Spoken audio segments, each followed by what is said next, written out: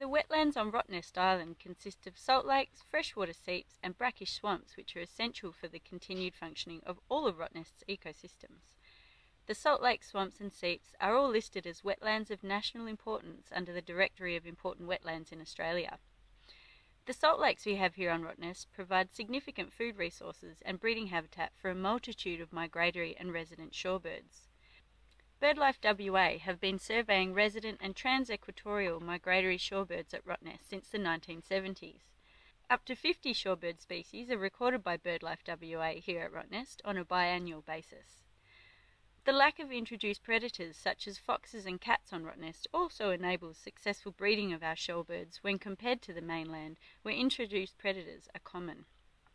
Rottnest has also been classified as an important bird area by BirdLife International as it provides critical breeding habitat for the fairy tern, which is listed vulnerable both federally here in Australia and internationally.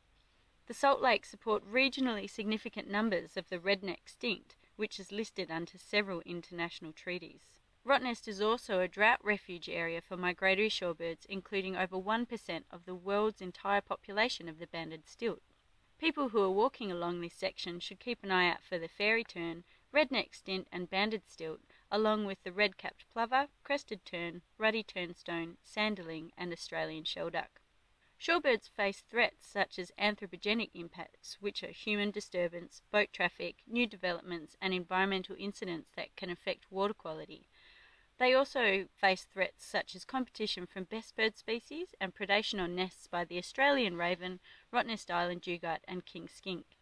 Shorebirds are also susceptible to climate change with increased water temperatures and altered rainfall events affecting food resources. The regular survey events that occur on Rottnest enable the RIA to track the presence and absence and the breeding success of these shorebird species on the island, and if required, we can implement mitigation strategies to manage any environmental impact.